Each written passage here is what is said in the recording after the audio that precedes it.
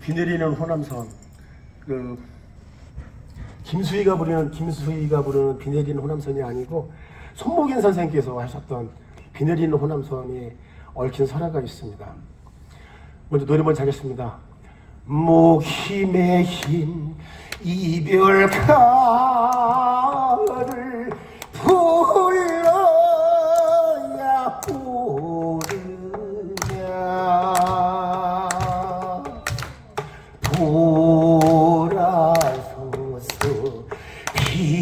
눈물을 흘려야 오르느냐.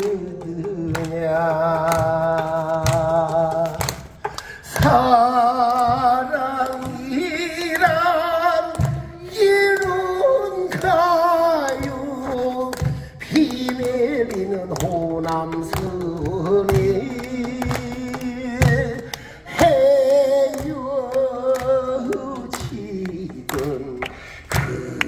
인사가? 야속도 하더란다.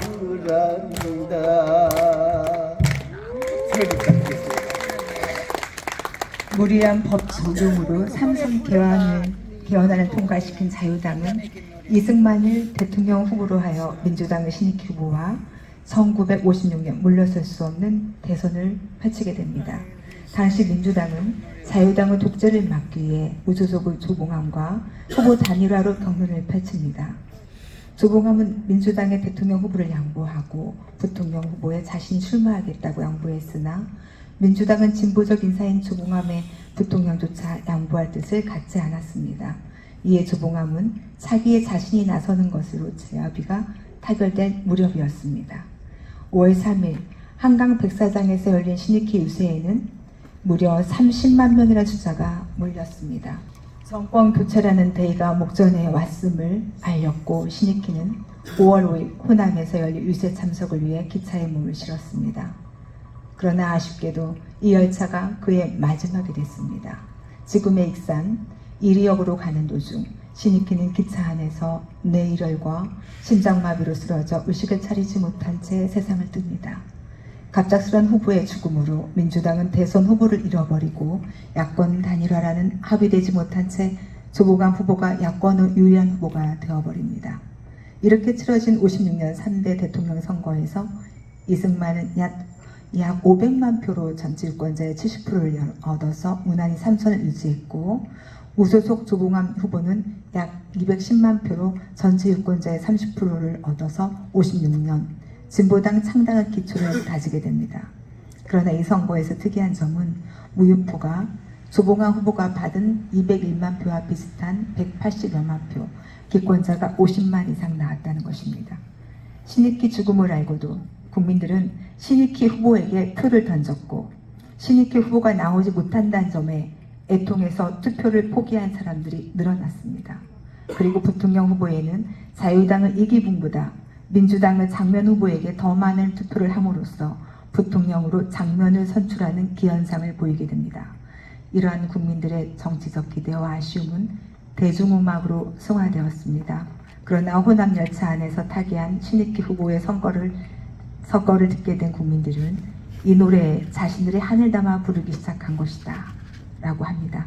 따라서 이 곡을 만든 작곡가 박춘석 씨와 작사가 손노원 씨는 경찰에 불려가 갖은 고초를 겪어야 했습니다. 이 노래가 신익기 선생을 추모하기 위해 계획적으로 만들어져 불러진 것이라 하는 이유에서였습니다.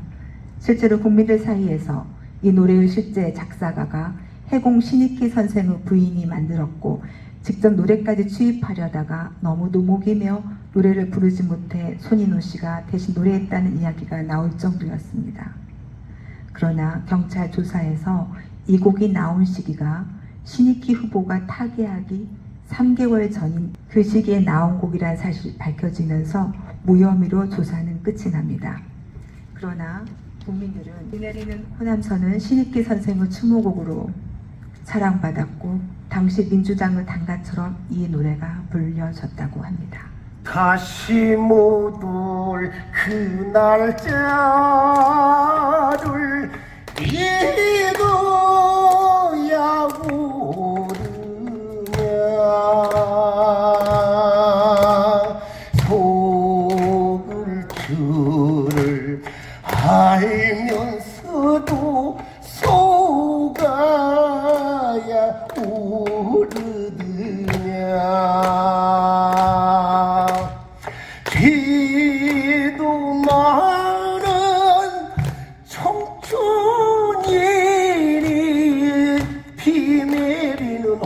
남성에 떠나가는 열차마다 원수와 같으란다 여러분 우리나라 노래 중에 이렇게 아름다운 사연이 있는 노래가 참 많습니다.